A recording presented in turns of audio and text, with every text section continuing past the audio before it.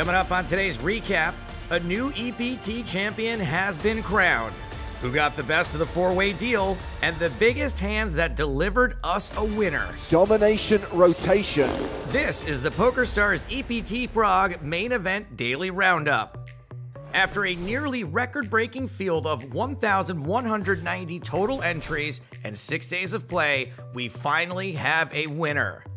And more than 5.7 million euros were awarded, with the winner taking home nearly 700,000 euros. But who were the final six competing for the title? In the one seat, South Korean Gab Yong Kim. He bubbled the final table at the last EPT Prague, but headed into the day, he'd already guaranteed himself a bigger score. The two seat featured Andrea Cortellazzi.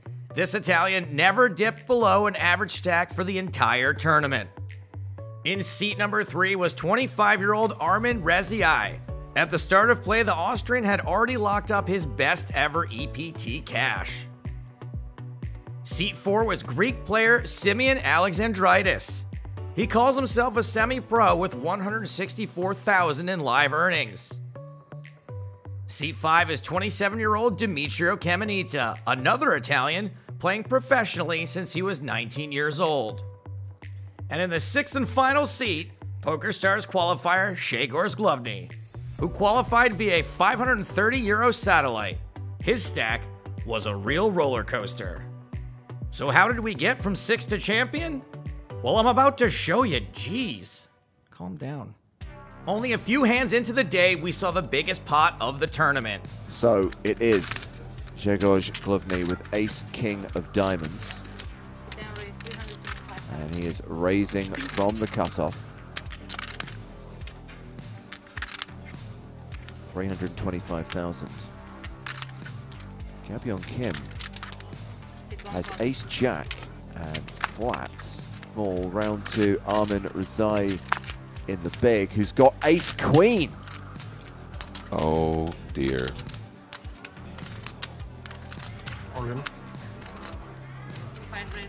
Oh wow. Oh wow. The ultimate squeeze from Rezaei, moving all in for just shy of 5 million. And what a decision for Glowny to call off most of his stack with ace king, knowing that there's still a player to act behind. I don't think there's any chance that Glowny can get away from his hand, but it, you know, as you say, it's still so many chips, and it's so meaningful at this stage in the tournament. 60k pay jump next.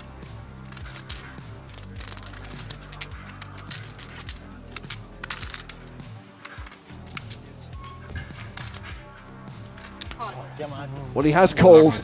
Kim's folded on their backs, and Rezaei is at risk and way behind. And look at the pot total. This is the biggest pot of the tournament so far. Ten and a half million. Four, four, deuce. No hearts. Oh. Four on the turn. 11% chance of a chop, but still an 81% chance that we will lose Armin Rezaei in sixth place. The river is a 10, and he is the first player out from the final table. Armin Rezaei cashing for just shy of 182,000 euros. And as we go five-handed, there is a new chip leader. And that chip leader was Grzegorz Glowny. A couple of hands later, action folded to Demetrio Caminita in the small blind, with Glowny behind in the big. Eight, six of diamonds for the short stack. He announces all in. He's presented with the triangle. Snap called by Glowny, who's got pocket fives. And this is oh, not a classic race, but it is nonetheless a race. A race. Nick called it, and so did Glowny. Ze small blinda wsunął short stack. Y, on ma 8-6 suited, ja piątki. Fake flip, let's go. Five of Did you say fake flip? Let's go.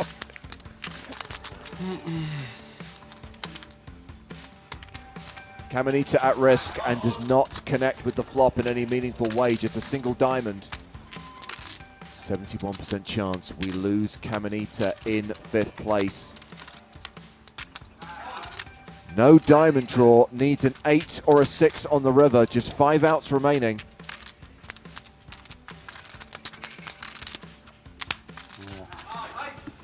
And fives hold, and we lose another player.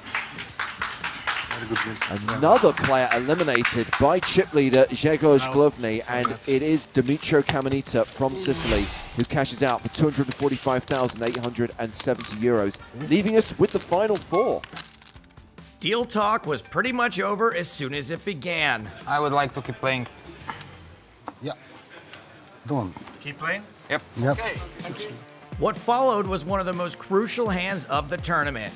Gab Yong Kim versus Symeon Alexandridis. You'll never believe what happened. Okay, you're already watching. No need for the clickbait. Alexandridis feeling real smug right now about this deal being shot down. He's like, all right, cool, let's play. Ace Queen, raise. if uh, if anybody's going to be defending their big blind, it's going to be one of the biggest stacks to Taylor here. Kim does come along with 8-6, and look at this flop with the six of clubs blocker in his hand as well.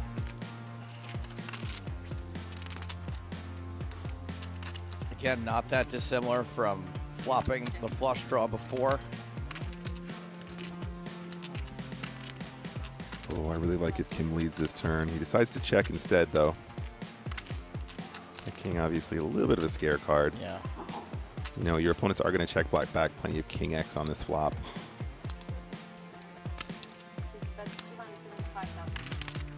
Ooh, it's small though. He went really small with the with the bet on this turn. Any chance he was setting up a check raise? Potentially. Yeah, I think maybe. Potentially. No, just a call. He's got too. I think he's got too much of a too much of a good price here to try Yeah. and check raise. Right. and that is just about as good as it gets right there. Hits the straight on the river, Sleazy game. leads for 500. Alexandridis does have the opportunity to turn his hand into bluff, though. He's blocking the queen 10. He's blocking the hearts. Yeah, and if you're like a live reads player, I kind of feel like that snap rate, that snap bet there does not look super strong. I would love if he raised here. That would be so cool.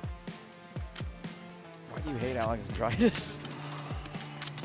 Oh man, he just raised it up to 1.5 million. And now I guess Kim's got to be a little bit worried about the hearts. Yeah, absolutely. I think the, I think the way the hand is played, I think the backdoor flush makes a lot of sense. Absolutely, or indeed queen 10. I do like the play though. I really do, and I think he, I think it will work a lot of the time. Yeah, I guess what I'm saying is, yeah, like Joe said, it's I, I obviously, we can obviously see the cards, but I just really appreciate the heart of this play. Nice palm. The fake oh, heart. Oh, He's played two time bank cards, makes a call, and wins a huge pot from Symeon Alexandridis, who now becomes the short stack at this four-handed table. Shortly after, Glowny's stack faded faster than your attention span. With right around 20 big blinds, he picked up Ace Jack under the gun. Ace Jack for Glowny under the gun. Got about 20 big blinds here. Makes it 400,000, and we've got Ace King for Kim. 4.4. Uh, uh-oh. Like this. Kim in particular has been three betting him very, very aggressively, and I think that's what we're going to see here every time. Playing a time bank card, buying an additional 30 seconds thinking time. Glowny's been playing it pretty cool so far, but he looked a little bit nervous there.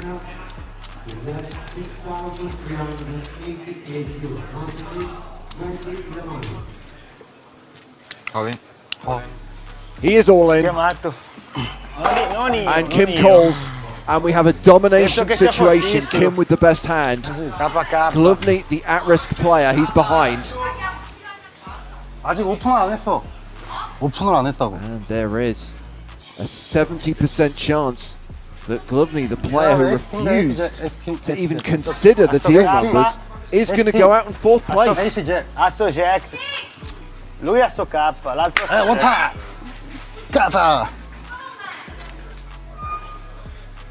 To Gab Yong Kim, Oh, his my stack king. has gone down and down and down. The flop. 어, Has a jack on it.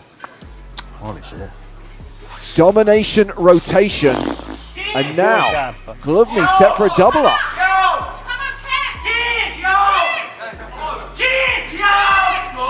On time.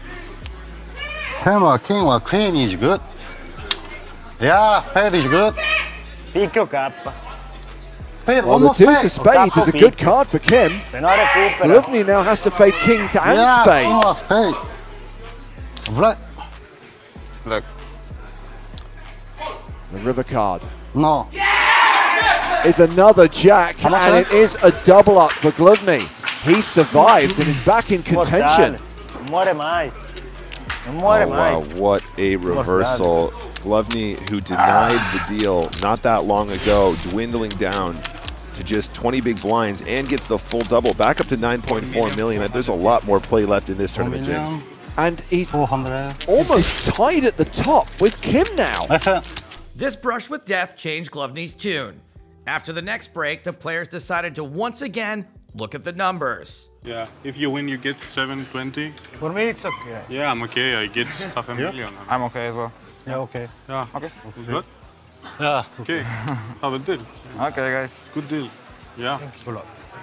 Gab Yong Kim took the lion's share worth 622k. Glowny received 581,000, Cortellazzi scored 579,000, and Alexandridis signed on the dotted line for 497,000 euros. 10% of the prize pool was left to play for, amounting to 110,000 euros, not to mention the title and trophy. With the deal in place, play got a little wacky. All ins followed. Gab Yong Kim exited first, two pair not strong enough to beat Cortellazzi's flush.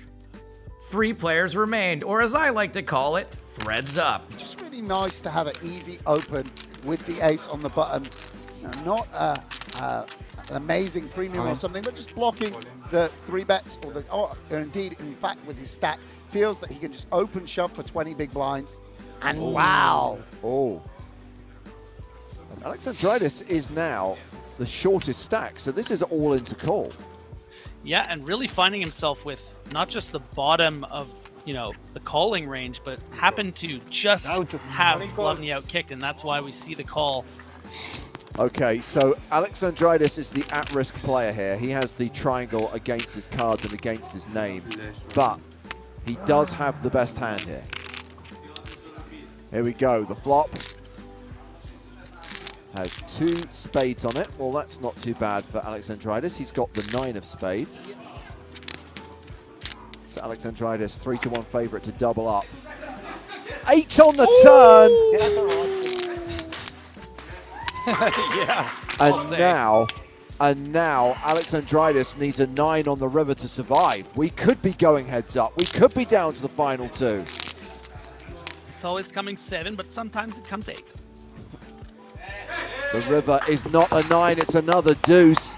And we finally lose a player in third place. And that is Symeon Alexandridis from Greece. Okay, man. At the start of heads up play between Cortellazzi and Glowny, Cortellazzi held a slight chip lead over Glowny, 48 big blinds to 40. After a Cortellazzi shove fest, All in, all in, all in, all in. the following two hands happened back to back. Ooh, queens for Glowny. And And, the he limp. just complete. He knows what to do. Yes, he's got him. Yep. He's got him. Oh. He's guaranteed he's got him. Yes. Cortellazzi does not change his oh, strategy. He jams on dziewięć Glowny, who calls all in with the queens. Jadamy o nas 9 offsuit. Oh, Ale on mnie pokrywa. disaster for the Italian. Well, hold on. Hold on. He's got an ace. Oh. Vieni Many people believe there is always an ace on the desk. And Glowny is the at-risk player, and if Cortellazzi does improve here, if he were to spike that ace, this would be over, and the Italian would take down EPT Prague.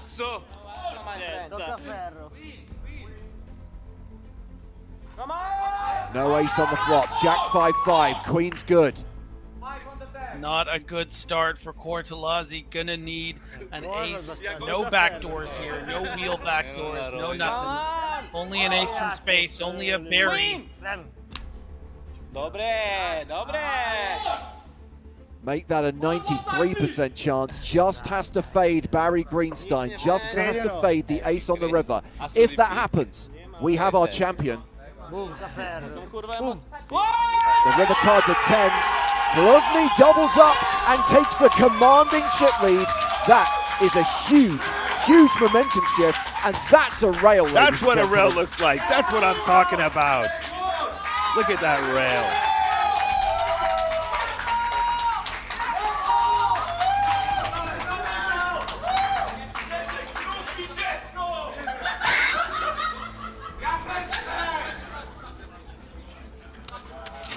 Eight four, and he's all oh. in. Cortellazzi shoves with eight four He's of got clubs. it. He's got Snap it. called. That is quick call. Król dama Cards on their back is king queen of clubs for Glowny. Ja król dama suited. On 8-4 w tym samym. And now it is the jak Poker mogę. Qualifier who is the 2 to 1 favorite to win EPT Prague. 10-7 deuce, King High still ahead. Of course, Cortellazzi does Nie not ma, nie have a ma. live suit. Nie no wiadomo, że ma, nie ma. Glowny, 3 to 1 favorite. Six or a five. Great draw. And that will seal the deal on the turn. Cortellazzi drawing dead. And Grzegorz Glowny has taken down EPT Prague for just shy of 700,000 euros. And he can celebrate with his girlfriend, Annette.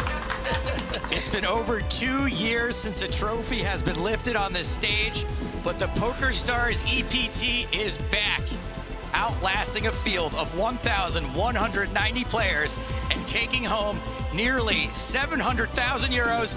Let's get a big round of applause for our EPT Prague main event champion.